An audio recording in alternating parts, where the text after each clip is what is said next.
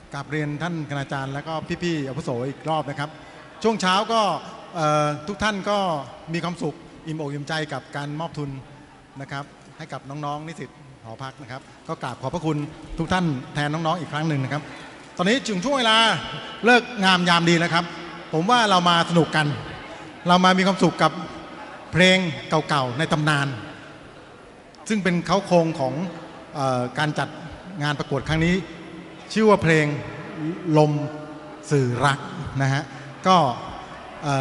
การจัดงานคราวนี้ได้รับความเห็นชอบจากคณะกรรมการถึง 2 คณะนะครับคณะแรกก็คือคณะกรรมการนิสิตเก่าหอพักจุฬารุ่นเเขาเรียกวาระ 64ถึง66 ของนายกพี่แมวกับคณะกรรมการ รวมถึงคณะกรรมการรุ่น 66ถึง68 นะฮะโดยผมและคณะกรรมการอีก 15 ท่าน ได้อนุมัติให้มีการจัดงานที่ดีเพื่อรวมใจซีมาโดงกลับมาที่บ้านเรานะครับ ต่อจากนี้รายละเอียดงานต่างๆเนี่ยผมก็ต้องโยนไปให้กับนายกพี่แม้ของผมต่อไปเลยครับ เชิญครับ